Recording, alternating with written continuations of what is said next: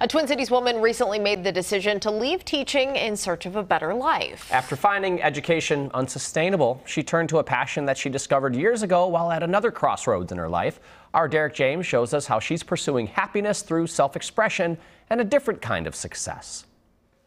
After 10 years of teaching, Nikki Jean Tran is trading pupils for paintbrushes. I love my kids. I love my parents. Honestly, I didn't see it coming. It was a year ago in November, and so my second year teaching in fifth grade, and I just hit a brick wall. Tran felt under a lot of pressure. I had a burnout. I would wake up every day at 3 a.m. and just the mind would just start racing. How can I reach this kid? How can I make this more engaging? The tipping point came when it became too painful to continue.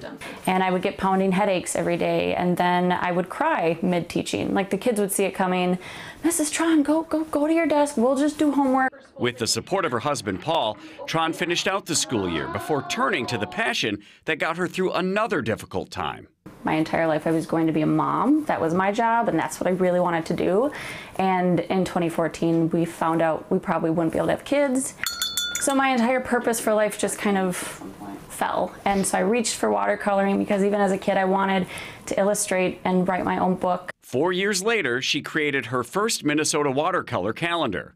She didn't produce a calendar for 2023, but now she's back, sharing her renewed love of life and Minnesota through art. The paintings, The Minnesota State High School hockey tournament, that's the time we actually got to get out of school and not get in trouble for it. photos, My nana, my great grandma, my grandpa, my aunt making pasta. fonts, Everything is literally my handwriting. That's not common, is it, in calendars? No.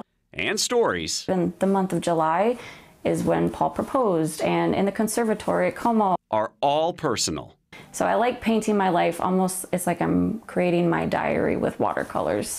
Painting signifies change as one moves from a blank canvas to endless possibilities. It's a change, it's terrifying, but you just have to try. The challenges, difficulties, and opportunities of the last decade have changed Tran's view of success. Am I happy? Am I working on the goals that I want? And honestly, worst case scenario, no one buys my calendar. I have a ton of Christmas gifts and birthday gifts for people. That's what I would. And I luckily got one of those gifts, guys. Nikki Jean Tran's 2024 calendar, Minnesota in watercolors, can be purchased at Red Balloon Bookshop in St. Paul and Drury Lane Books in Grand Marais or on her website. She's already working on the 2025 calendar as well as a book, which of course will feature illustrations as well. yeah. It- the detail is what's incredible to me. These are great to see uh, up close and personal here. I also love how many times she redirected. She realized that something wasn't working Yep. for her, and I think a lot of people have trouble kind of changing lanes or actually making changes in her life. So I thought her personal story was incredible too. Well, and teaching is so difficult. My wife is a teacher, and one of the things that Nikki mentioned to me is the classroom's not the difficult part. The when you're actually in the classroom with the kids, that's the best part of the day.